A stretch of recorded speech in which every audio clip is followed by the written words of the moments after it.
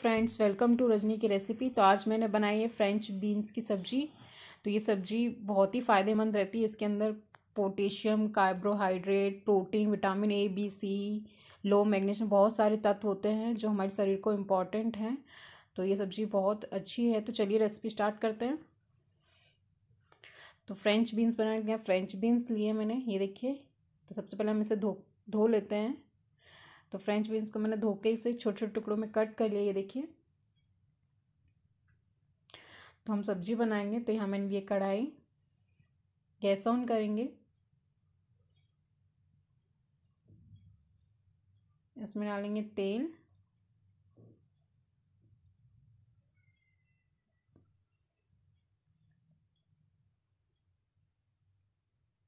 तेल को गर्म होने देंगे इसमें डालेंगे आधा चम्मच जीरा।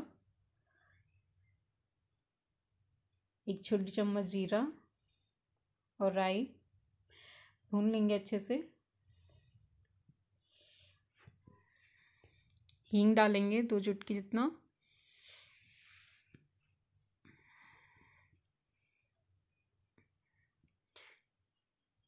लहसन डालेंगे। पाँच से छः लहसन की कलियाँ ली थी जिसे मैंने छोटे छोटे टुकड़ों में कट कर लिया था।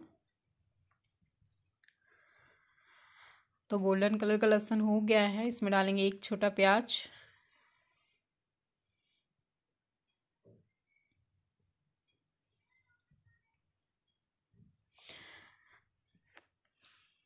प्याज को भी हम भून लेंगे। हल्का सुनहरा और यहाँ मैंने एक हरी मिर्ची कट करके डाली है।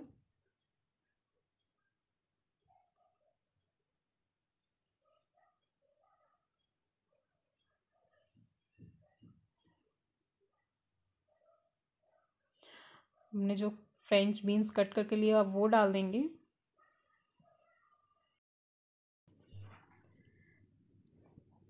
तो इसको दो मिनट तक हम भून लेंगे ऑयल के साथ। चला लेंगे अच्छे से।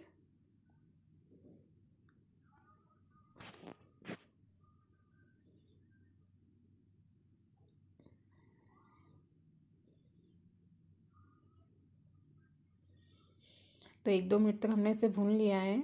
इस पर ऑयल की अच्छी सी कोटिंग आ गई है।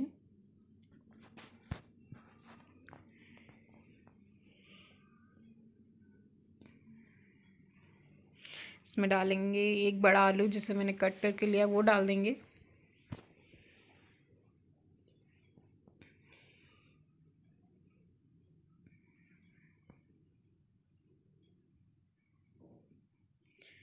तो आलू को भी मैंने एक मिनट तक भून लिया था। इसमें हम डालेंगे मसाले। गैस की फ्लेम कम कर देंगे। या मैंने लिया आधा चम्मच हल्दी पाउडर, एक चम्मच लाल मिर्च पाउडर, एक चम्मच धनिया पाउडर,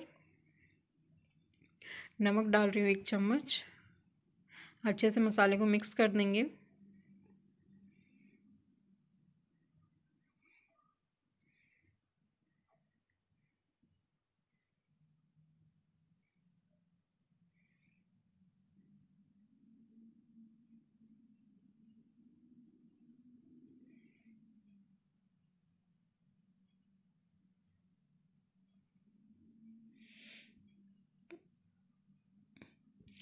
तो मसाले के साथ भी हम मैंने आधा मिनट तक पका लिया था और अच्छे से भून गए मसाले। आप इसे कवर करके रखेंगे। तो पाँच मिनट हम इसे कवर करके रखेंगे लो टू मीडियम फ्लेम पर। तो पाँच मिनट हमें हो गए हैं।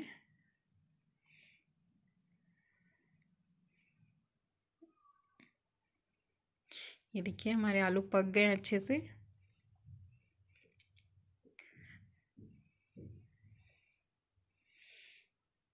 हम इसमें डालेंगे अब टमाटर। तो एक छोटा साइज़ का टमाटर कट करके लिया था, वो डाल देंगे। टमाटर को अच्छे से मिक्स कर लेंगे।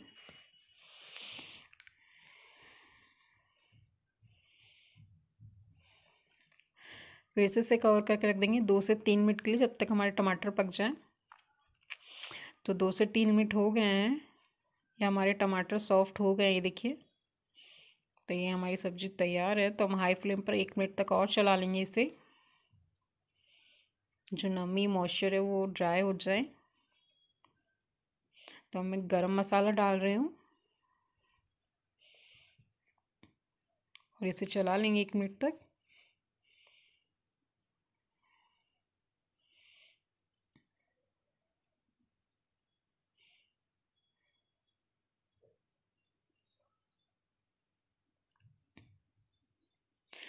तो हमारी सब्ज़ी बनके तैयार है तो इसमें डाल रही हूँ हरा धनिया।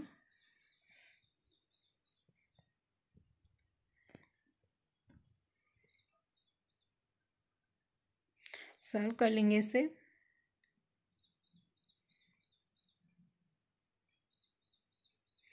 तो हमने सब्ज़ी को सर्व कर लिया है। तो आप ये सब्ज़ी बना, ज़रूर घर पर बनाएँ और कैसी बनी अपने अनुभव कमेंट में शेयर करें। Thank you.